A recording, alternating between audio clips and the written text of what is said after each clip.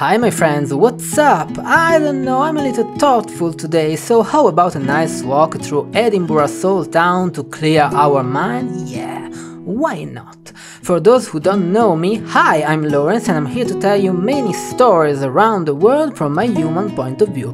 Before starting, help me to grow this project, snap me a like and subscribe.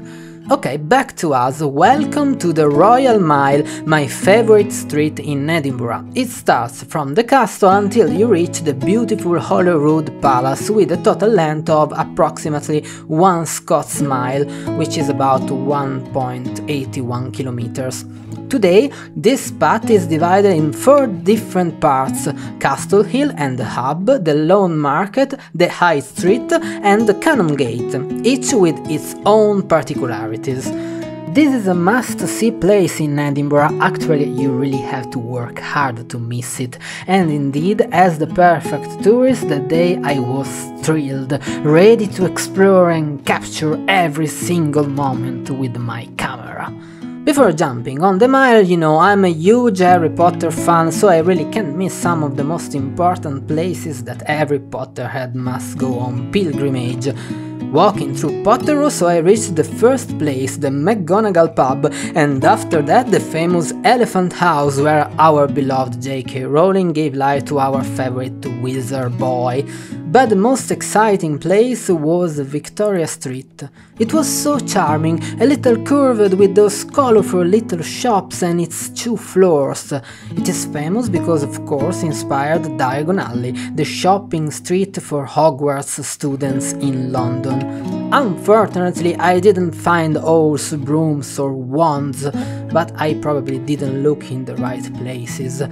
Victoria Street have also many folk tales. In the cold Scottish nights seem that the ghost of Angus Roy, a seaman forced to retire after a near-fatal accident, haunt Victoria Terrace, and he can reportedly still be heard dragging his crushed leg.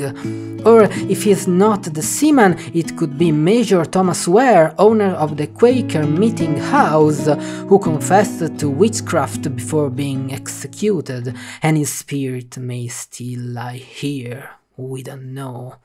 Okay, let's not think about it. Instead, let's talk about the mile. First point of interest, of course, the castle, my grumpy guardian of Edinburgh. If you want to know more about its folk tales, I suggest you watch the video I made about it. The mile have also three churches that are amazing to visit. The St. Columba Free Church of Scotland, the famous St. Giles Cathedral and the Canongate Kirk.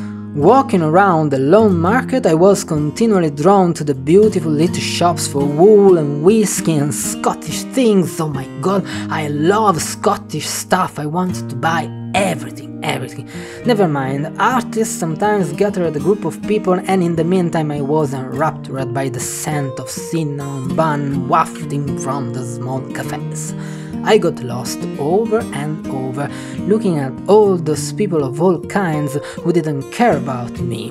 That was the moment I realized that I was actually completely alone, as a real Edinburgh ghost, and it was amazing.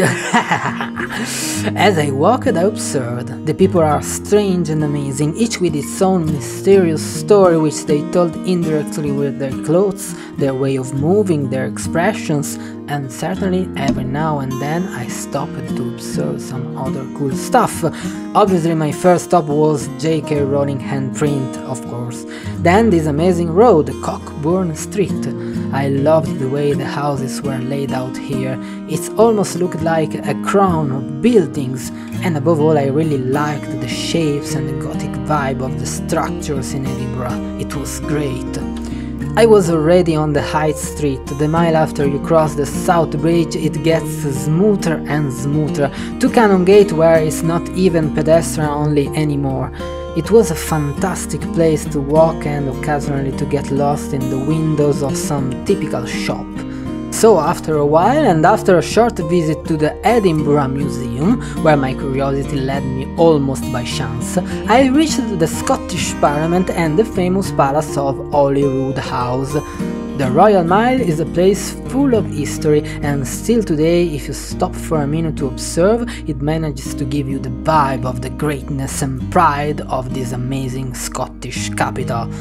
As far as I'm concerned, however, the day I understood one important thing that was uh, that sometimes ghosts are just people who want to feel free by being with themselves for a while. And welcome, welcome to the end card guys, thank you so much for watching, this was just a little walk, I hope I was able to give you a little bit of the vibe of the main street of the city.